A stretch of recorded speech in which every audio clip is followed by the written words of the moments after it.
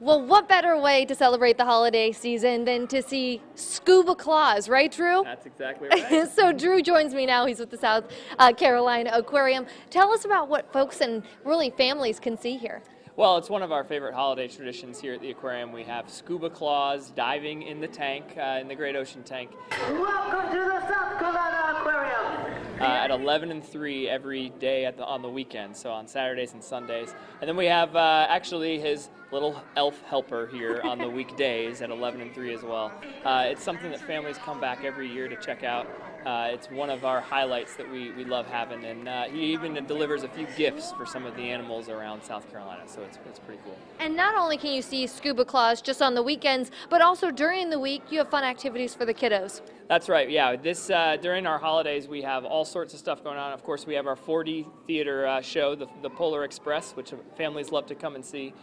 We also have all sorts of holiday. Uh, Promotions going on during the day. Uh, on the weekends, we have uh, Diamondback Terrapin art, uh, which is pretty cool. We put uh, our little Diamondback Terrapins in paint and let them uh, walk all over some ornaments so you can get a cool holiday treat.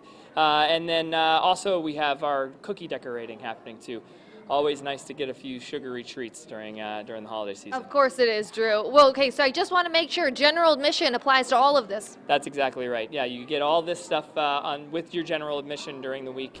Uh, so come on down and, and check it out. We, we'd love to have you here. And we have all of this information on our website, counton2.com. Thanks so much, Drew. Thank you.